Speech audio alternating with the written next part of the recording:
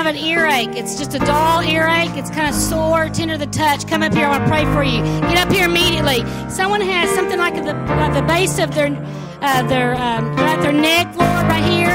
It's like there's a pain right here. Come on, I don't miss it. Get up here. Come on. There's someone with a, someone with an ear. Come on. Hallelujah. Someone has an earache. Something something going on in their ear. Hallelujah. Neck.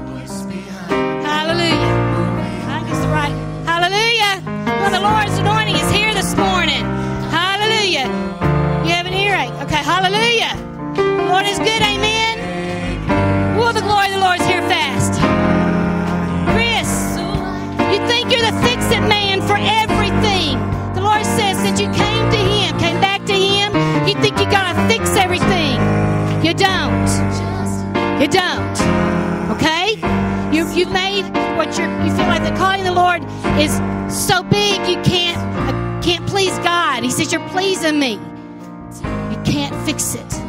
You just have to believe. You just have to pray and believe. You're that by just touching, you are helping. Just by speaking, you are helping.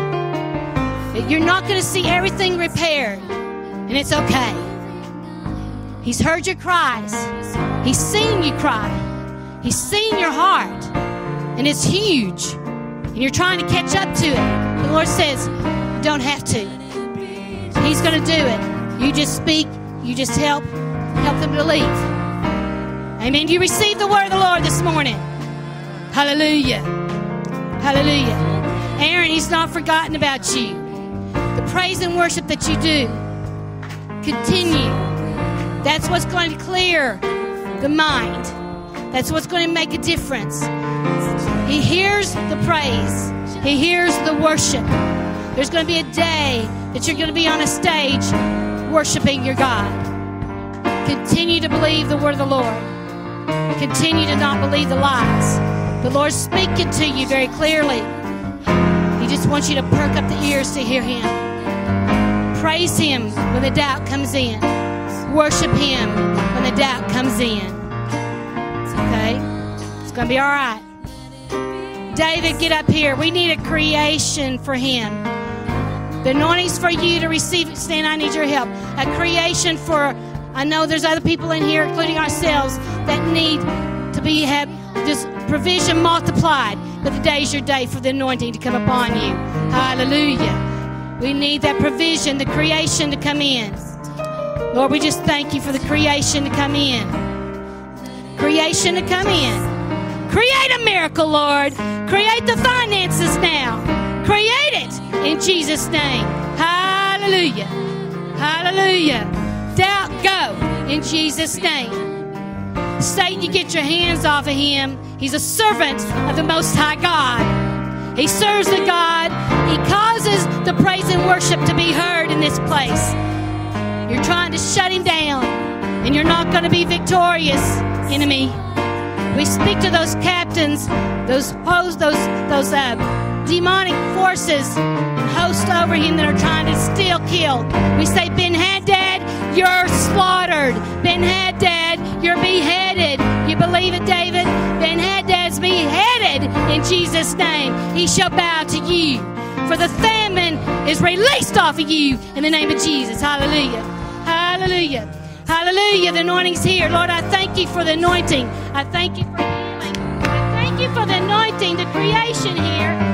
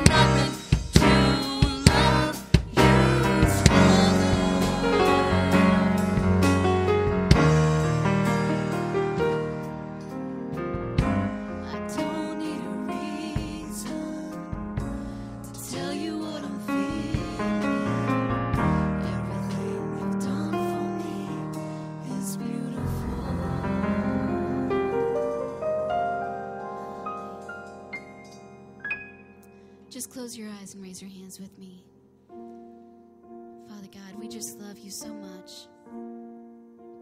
Your grace is amazing. Hallelujah.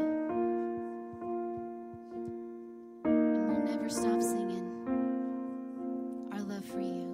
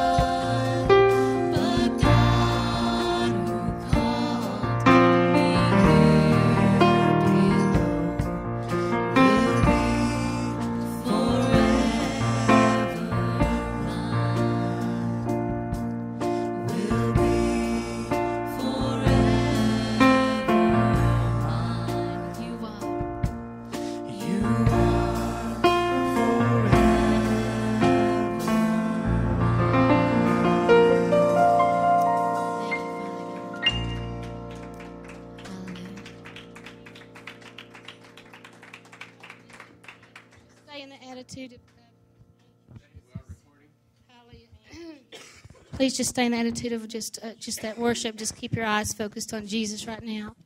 Thank you, Lord. And, and I just wanted to finish and continue a, a word to Christopher here. Um, I saw a golf club in your hand, and there's going to become a time after you get through this season that you're going through, there'll become a time that you're going to be working at a um, a golf course. I don't know exactly what you'll be doing there, but you'll have great favor. Uh, many of the people will have great favor with you. Your name will be known. And um, so just keep your eyes and focus and, and just let the Lord know that He's going to open up that opportunity. It will provide a great provision for you. So, Lord, we just thank you. Hallelujah.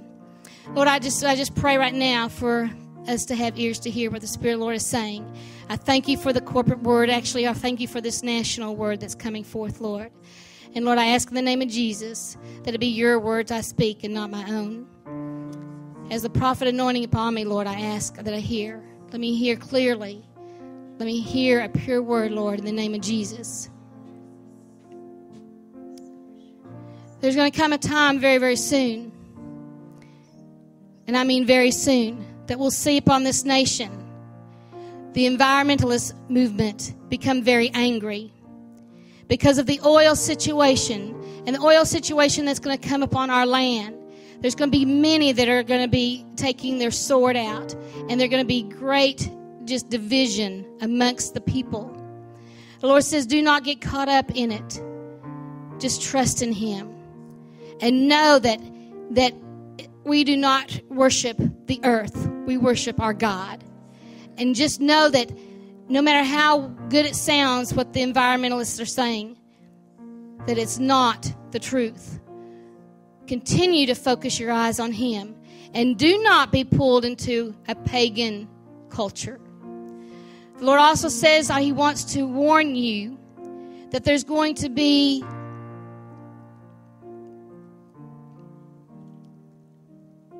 I, I don't know whether to call it a worm or there's going to be a a disease. There's going to be something that's going to be put into the water systems in many of the cities in this nation. As people begin to get sick and some die, all of a sudden the bottled water is going to become out of this world. People are going to be going and, and getting, mm. even in, in many, even the environmentalists are going to be getting the bottled water. And then there's going to be just division and angry and war and just tempers flaring because of what that's doing to the earth. The Lord said, too, to know that's a lie. But the word of the Lord has come to you, my children in this place that have ears to hear. Get the filter system, get a water filtering system. For you will not be able to trust the tap water. You'll not be able to trust the bottled water. The thing that you're going to be able to trust is my word. The thing that you're going to be able to trust is me, says the Lord. But I'm telling you, you must get something to filter the water. Begin to save so that you can get a good system because it's going to you're going to need it in the very near future. Lord, I ask right now in the name of Jesus that you provide, that you provide everyone in this church and provide everyone that has ears to hear from the CD of this or reading it. Give them the provision to beget that water filtering system. Lord, we thank you for already the warning. We thank you that you've already prepared the way for a situation that we're going to get through. I thank you for it, Lord. There'll be no peace in this country before long. And it's not for what we think is like wars, there'll be wars amongst the people. The enemy, is, uh, as we can see across the world, they're stirring up the strife. And when there's envy and strife, there's every evil work. So keep your eyes open on me, says the Lord. Keep your spiritual eyes open and your ears to hear. For you'll need to follow the voice of those who truly hear me. Lord, I pray in the name of Jesus that we'll, each one of us will be held accountable for hearing the words of the Lord. I pray that you remind them of the things that they need to know. And Lord, we give you praise. We give you honor, we give you glory this morning. In Jesus' name. Give the Lord praise in here for what he just gave us.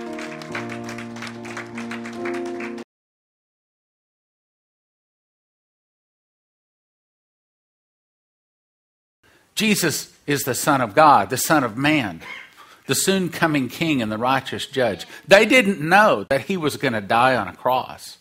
You see, their Messiah they were looking for was supposed to return and over, raise up uh, this great army and overthrow the Roman government and make Israel great again. That's who they wanted. That's not what they got. Of course, the church today, the church today is not wanting someone to show up to overthrow some Roman government. Is instead the church today is wanting Jesus to return in the clouds and to save them from all trouble. They're not going to get that either because there's a testing. I counsel of thee to buy me gold tried in the fire. And what's that fire? That's not you losing your job. That's not the economy going down. That's when Jesus blows his glory down on the earth. And I was so impressed with what Leslie was teaching on this morning and how well she was doing. And she's talking about Shadrach, Meshach, and Abednego, Azariah, Mishael, and, and uh, Hananiah being thrown into the fire. You see, that's the way it's going to be when Jesus returns. Luke 21 36 says, Watch ye therefore and pray always that you might be accounted worthy to escape all these things. And all these things is not talking about the tribulation, it's talking about when Jesus goes, and he blows his glory down on the earth. Just like Shadrach, Meshach, and Abednego.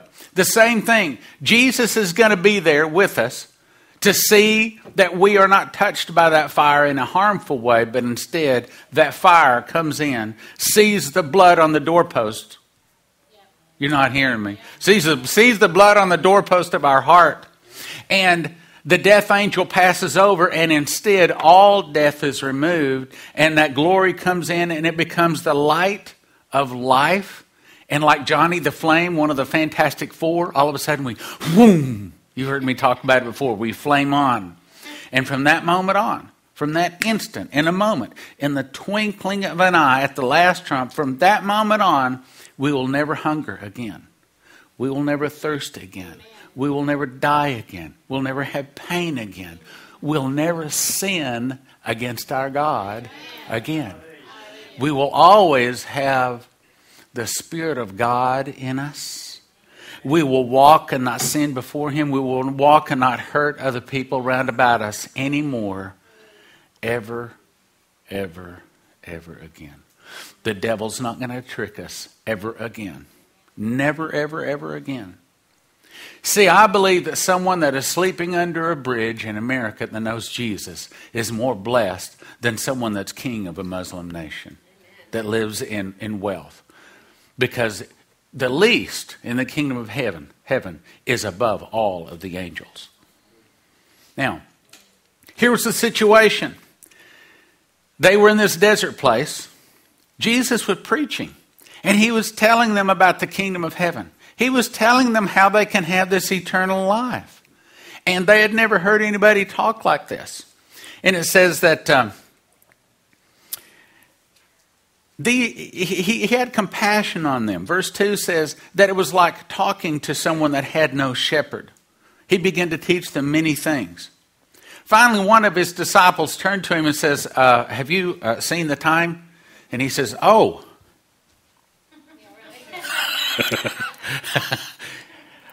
I hadn't looked at my watch. he didn't do that, did he? He said, Yes, the day is far spent. His disciple says, Well, what do you want us to do? You want us to call some pizza? what do you want us to do? You want us to make some tuna fish and jelly or uh, tuna fish and sandwiches? tuna fish and jelly, I don't know where that came from. Is there such a thing as tuna fish and jelly?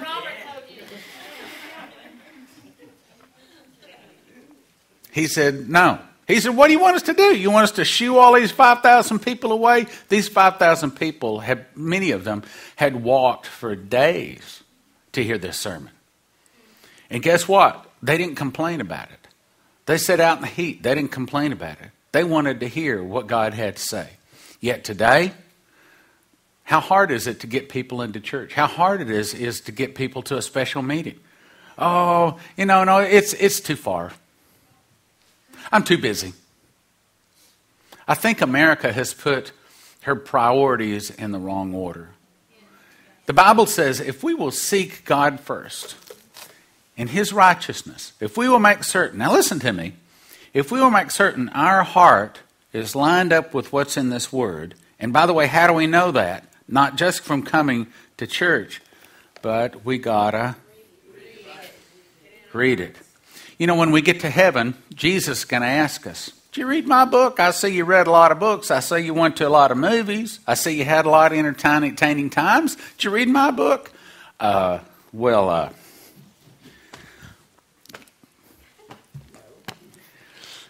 you know, I was busy on Friday nights. What'd you do on Friday nights? You know, why didn't you read my book? But if we will line our heart up with what's in this word, this word has promised to bless us. This word has promised that we will be prosperous, that we will be in health, even as our soul prospers. This book has promised to us that we will be the head and not the tail. We will be the lender and not the borrower. That we'll be blessed when we go in and blessed when we go out. That our children will be a blessing. There's all kinds of blessings. I don't understand why it's so hard to simply read it and follow it. But it really is. It's hard. But it's not. It's a spiritual battle. So, anyway, he says, All right, what are we going to do? Because we got about uh, 5,000 people out here hungry. And he says, Okay, what do we have? He says, All we have is five loaves and two fishes. He says, All right, sit down. I want you to look at verse 41. There's a real important key here. He told them to sit down by hundreds and by fifties. Why? Why didn't he just say, okay, everybody sit down? I don't know, but there was something to that. There was a reason he had, some, had them set down by hundreds and by fifties. Now, for him to say set down by hundreds and fifties, what had to happen? Everybody had to know, okay, let's count off. Let's see. In other words, they had to get like organized. Then he took these five loaves and two fishes. Yeah, I don't know what you did, but it worked.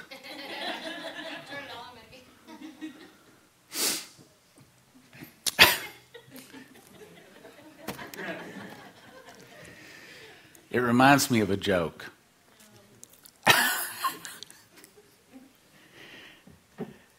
and maybe it fits here because I pray that what comes to me is from God. So it's a Cheech and Chong joke. Now, you remember Cheech and Chong were all famous for smoking marijuana. However, the truth is they said they didn't smoke marijuana. They just made jokes about it. But anyway, Cheech and Chong, the joke goes like this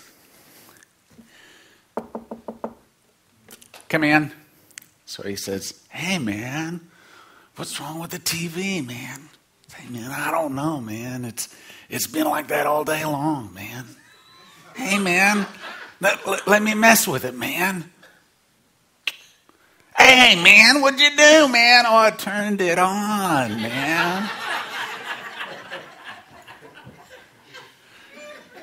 Now, maybe we need to get turned on into the Word this morning. See?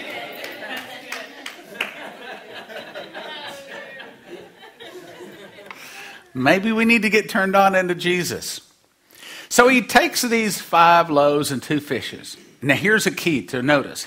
He looked up to heaven. Why? Because he says, There's another, none good but one. Jesus said, I and the Father are one. If you've seen me, you've seen the Father.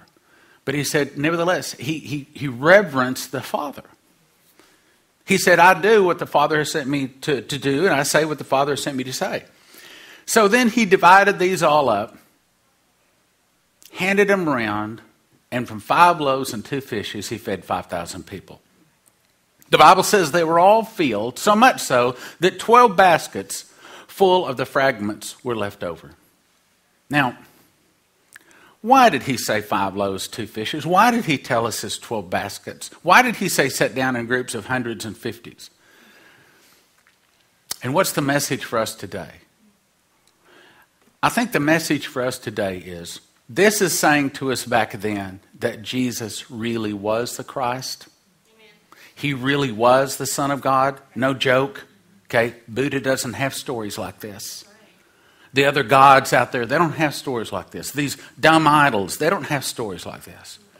Our God, now hear me now, is the real God.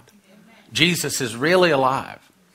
He really was the Son of God. He was in divinity. He was the I am the I am, the beginning and the end. He's the Alpha and the Omega, the Aleph and the Tav, the soon coming King. He stepped out of eternity down into a man suit to be nailed to a cross why? Because Stan Johnson needed him to. He did this to prove to us that we're not believing in vain. We can really trust that Jesus is going to save us. We can trust He's going to provide for us. Now, how many of you need to know He's going to provide for you this morning? We need to know that. Because I don't care what job you have. How many of you know they're all in jeopardy these days? Jeopardy, I got to say the right word. I don't care how much you got in the bank, it's all in jeopardy. The dollar's in jeopardy. Our nation is in trouble. But I want you to know that I'm standing firm because I believe that the God of the Bible, the God of Abraham, Isaac, and Jacob, the God of Moses, did not lie. He cannot lie. And He's given us wonderful, precious promises. And He said, I'm going to take care of you. What about the mark of the beast? I don't care about the mark of the beast. I care about Jesus. Now, here I'm about to do a TV program on it, made a couple of DVDs talking all about it. I think I'm pretty well versed in it. But I'm not worried about the mark of the beast. I'm more concerned that I don't want to hurt my God step across the line, do something to offend him, break any of his laws. I know if he can feed 5,000 people with five loaves, two fishes, he can take care of me in the month of March. I'm not worried about whether we're going to have the money for rent this month because I know he's going to take care of us. And I think that there's some people in here this morning I, th- I, think you're worried about your finances. I think that there's some people worried about your finances. I'm not going to ask you to shake your hand or raise your hand or nothing. But I think that's true. And I'm saying to you this morning that our God is alive. He fed 5,000 people with five loaves and two fishes, and He can take care of you. He put this in the Word for two things, for two reasons. He put it there, one, to say, I am God. I do have this power. But this morning he wrote it, and this morning we read it, this morning we consider it, because we need to, kind of like scotch tape, pull it out of the Bible and stick it on our finances. Maybe we need to all go home and get a little piece of scotch tape and put it on our checkbook. saying, I'm putting Jesus on my checkbook. Get out that bank statement. Put Jesus on that bank statement. We need to know that Jesus is going to take care of us. He's going to be there. Might not be the way we want, when we want, how we want. But if we have committed our life to love Him, to follow Him, and to do our very best, now that doesn't mean we, we're perfect. He didn't say if you are perfect, I'll take care of you. But we need to strive to. That needs to be our objective. Now, another thing that I want to point out this morning You know, here a couple of weeks ago, I told you I wasn't going to do none of this positive attitude preaching. And it's almost like ever since I said that, the Lord has had me start doing some encouraging. Is that good? So then here's another story. This is right after. See, I want you to look here. See the bottom line here? See, that's verse 44. That's Mark 6 44. We're continuing in Mark 6 45. So this is continuation right after the feeding of 5,000. If you were walking with some guy, Maybe you hadn't got the revelation that he's the Son of God. A lot of the disciples didn't understand who this guy. They thought maybe he was some kind of a prophet. They didn't understand at that time that he was going to be nailed to the cross, come back to the life. They didn't understand that he was King of Kings, Lord of Lords. They didn't know that. They didn't have that revelation. Their eyes hadn't been open to that yet. They just thought he was saying some pretty cool talking. He was feeding them, and they kept walking with him. He came up to them and said, Follow me, and I'll make you fisher of men. They didn't under, understand that totally. They didn't, they didn't know that. And so, this is right after feeding 5,000. Verse 45 says they got into a ship. They went out onto the Sea of Galilee, as I recall. And while they were going out onto the, the, the sea, Jesus went up to a mountain to pray. If you, I've done a research on this, and almost every time before Jesus did the great miracles in the New Testament, he went to pray.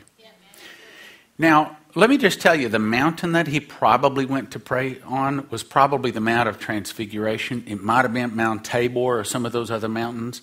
But it probably, if you were to walk up that mountain, it would probably take you, if it's a small mountain, and if you're really in shape, and if you really are walking and, and climbing hard and fast, you might get to the top of it in a day. So, I mean, why do you go to a mountain? Why?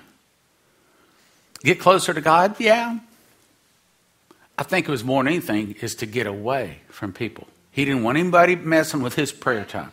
And that's one of the things that I think if you want to have God's protection and provision, if you want to be blessed and raised up in these hard times ahead, then you better have a prayer closet. I'm, I'm just going to tell you. And that means you get away. Just like he says there, he says, I went up to a mountain to pray, and he got away. And he prayed. Now, if you climbed several hours on a very small mountain, maybe all day long, to get to the top of that mountain, what kind of prayer are you going to say? Thank you for this food and get back down? If you climb maybe all day long just to pray, when you get up there, what kind of prayer? It's going to be a serious prayer.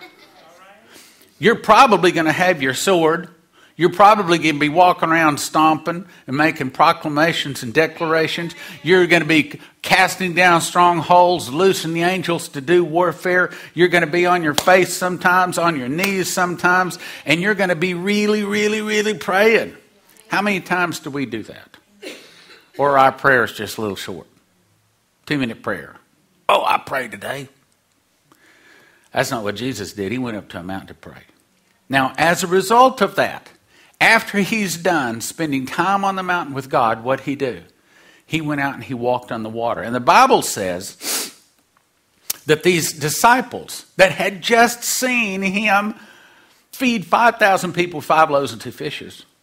Now, it says they're toiling, verse 48, rowing in the wind, and the wind was contrary to them. In other words, they were trying to go east, and the wind was coming from, uh, out of the east. So the wind was hitting them in the face, and they're trying to row into this. And it says Jesus come walking by, walking on the sea. And it says that he would have passed by them. He wasn't walking out to see them. He wasn't walking on, out to show them, hey, I can walk on water. He was just making his way across the water. He probably walked on across the Sea of Galilee frequently. There are probably many other times he walked across it, and uh, no one saw him. But says they just happened to see him. They thought he was some kind of a ghost out there. I mean, last time I was out on the water, I mean, when I, all of the times I've been on the water, I've never seen anybody walk on the water. So there was something to it. They were troubled, the Bible says. Verse 50 says, ah, Be of good cheer. It is I. Be not afraid. You know, those words are good words for us this morning. Be of good cheer. You're having trouble in your finances? Having trouble in your job, having trouble in your family, husband, wife not getting along, things in the family aren't going exactly right, the message for us this morning is to be, be of good cheer because Jesus is still on the throne.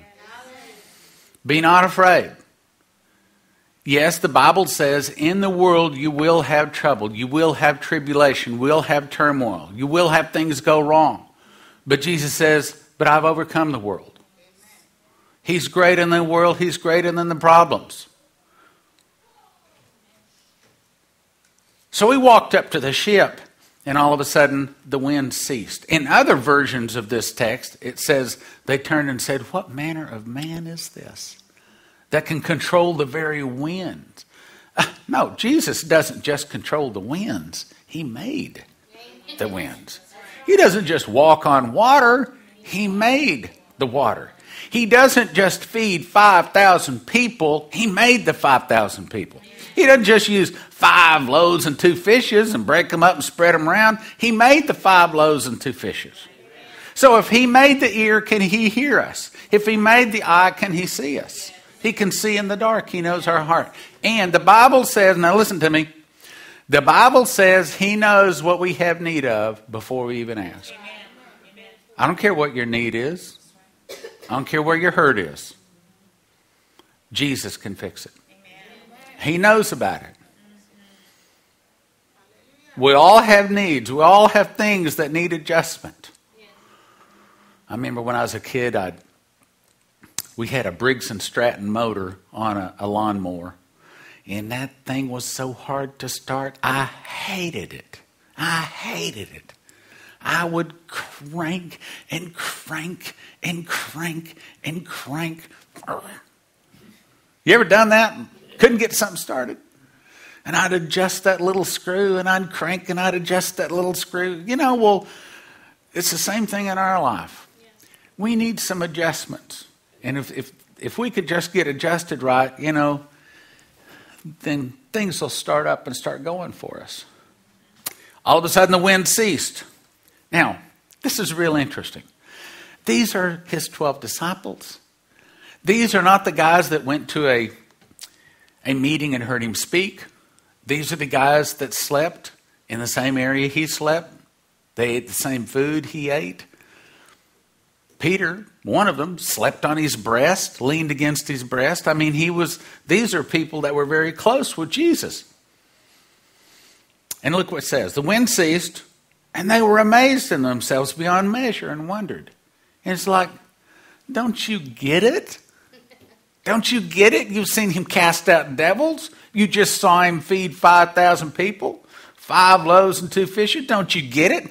And the Bible says they were still amazed.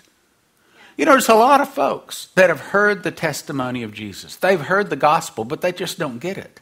There's a lot of people, you know, you try to talk to people in America right now about Jesus, and I'll tell you what, as soon as you say the name Jesus, the window shade drops, end of conversation. They don't want to hear about it. This is the most loving, most kind man that ever lived, died the most gruesome, horrible death because we sinned. So that we could be re entered into the Father. Now, verse 52, look at that. They considered not the miracle of the loaves, for their heart was hardened. These were the 12 guys that walked and talked and ate with him. And they didn't believe, they didn't understand. I'm going to say this this morning. Sometimes I think we forget.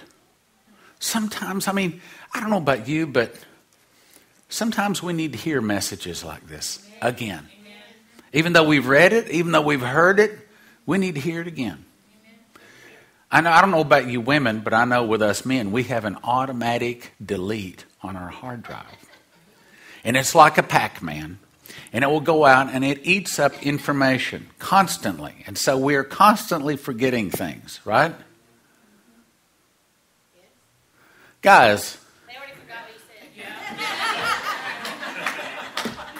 I gave you a perfect opportunity to get you out of all kinds of trouble there.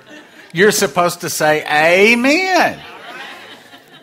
Then the next time you make a mistake, you say, Well, you remember Pastor told us we got a Pac Man.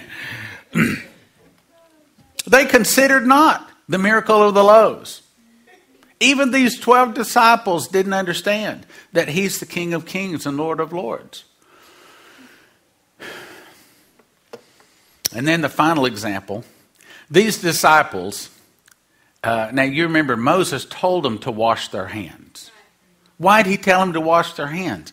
Well, because, you know, they were shepherds and cattlemen, And all day long, they'd been handling all sorts of things that were filthy dirty. And he was just telling them if you wash your hands before you sit down to eat, you won't get sick as often. Maybe not even die. So it wasn't a commandment you have to wash your hands to get to heaven. But some of the Jews had taken it that way. And they said, Well, what's wrong with your disciples? They, they eat bread defiled, they don't wash their hands first. And he says, You know, you guys misunderstand. You take the doctrine of men and put it in the place of, of the doctrines of God. You hold on to the tradition of elders. It says here their hands were unwashed, and these, these uh, Pharisees found fault. Now, I want to say something about that. Would you believe that there are some people out there that they call PKs? You know what a PK is? Anybody know what a PK? You think there's extra pressure on a preacher's kid? Why? Why?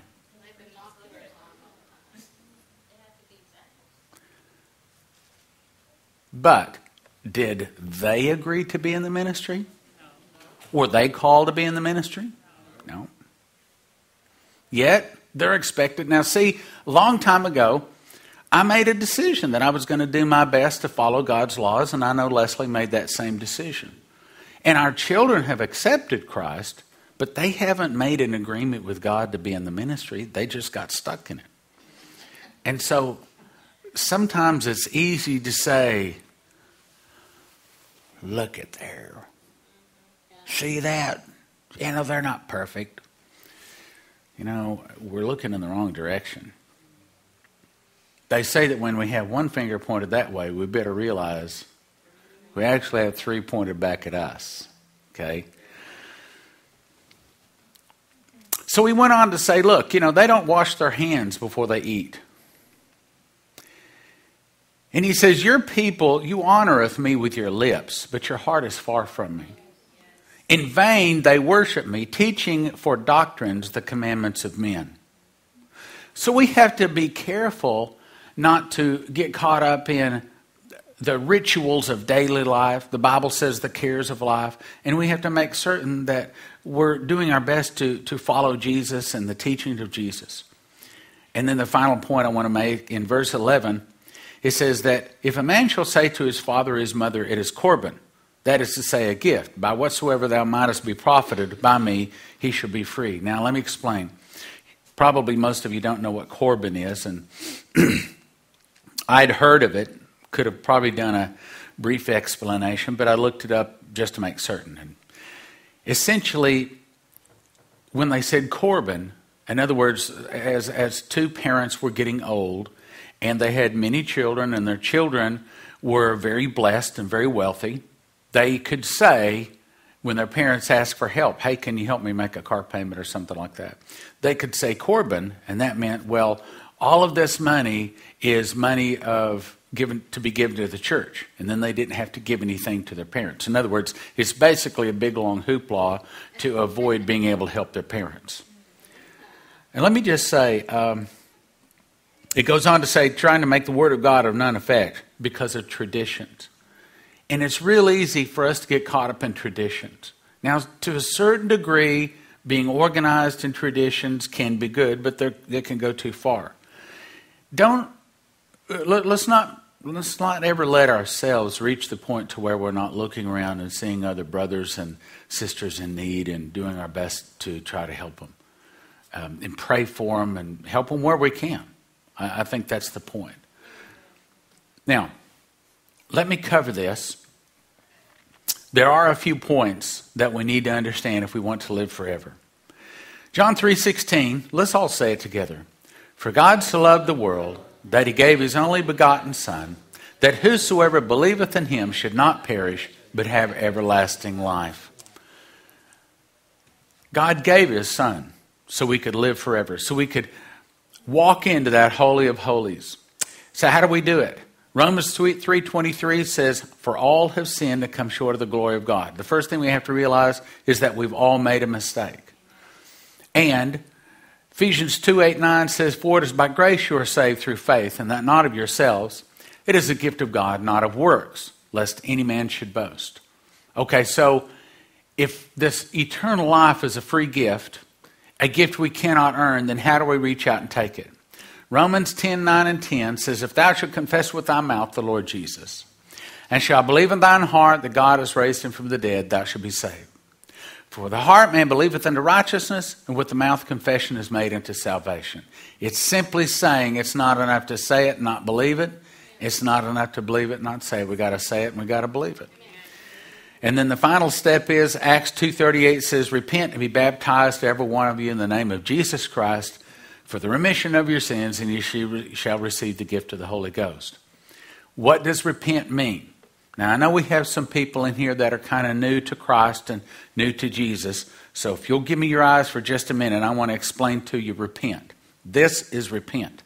In my life, I was walking down life's lane and I was doing what Stan wanted to do and making a mess of my life, I might add. And then I decided to accept Christ and I turned from what I wanted to do. Here's repent. Look at this. Watch. Watch. There it is and I decided to go the way of Christ. That means that if I really received Christ, that means I'm going to leave some friends behind. That means I'm going to leave some habits behind. That means I'm going to lose some words I used to say and some things I used to do. And it means that we're going to, it doesn't mean we're perfect, but it means that our objective is to read this book and to follow this book.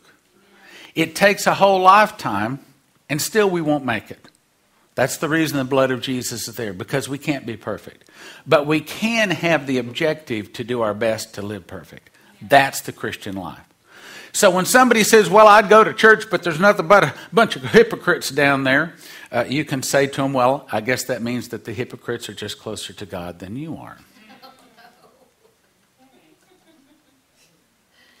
The truth is, the truth is, we're all hypocrites.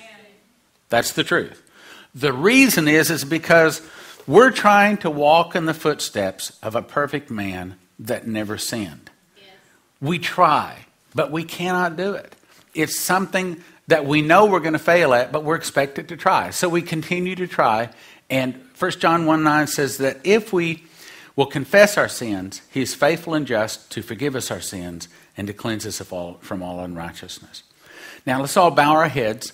And if you'd like to accept Christ this morning, if you want to say, I'm going to live my life Jesus' way, and I want to go to heaven, I don't want to die again.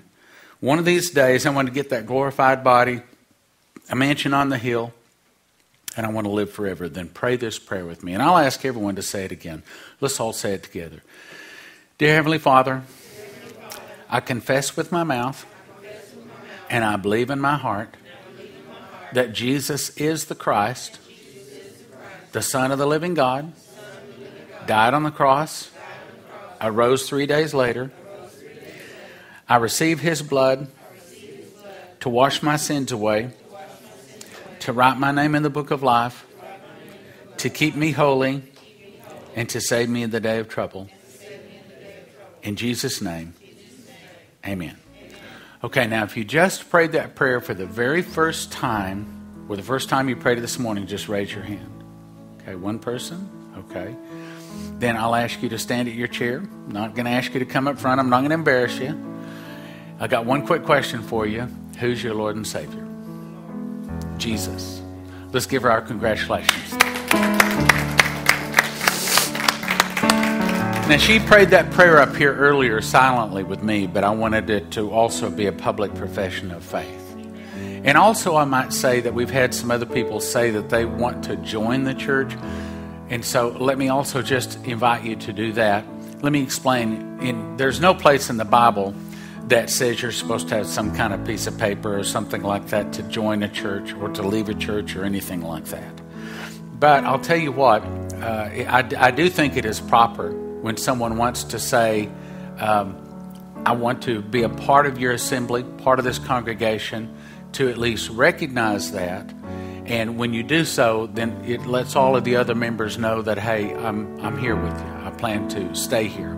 Now, ha- we haven't done this for a while, so it may be that you've been coming for a long time and you just never have stood up and said, Look, I want to place my membership here with this church. And we just, what I, in a moment, what I'll ask you to do is, if you want to, is just come along here and face the group and uh, just as a public profession saying I'm placing my membership here with the church, no papers to sign, there's you know no cancellation to it or anything. It's it's just kind of a, a, a public profession that, that you're placing your membership here. So if you'd like to place your membership at this church, just come up along here and stand and face the group.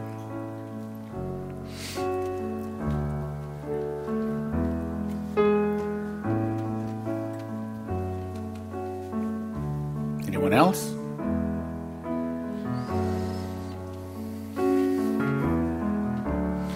Well, then, Lord, we just thank you for these two new members of the Spirit of Prophecy Church. We ask you to bless them. And Lord, we receive them into the fold and we'll love them and care for them. In Jesus' name, amen. amen. Congratulations. Thank you. Glad to have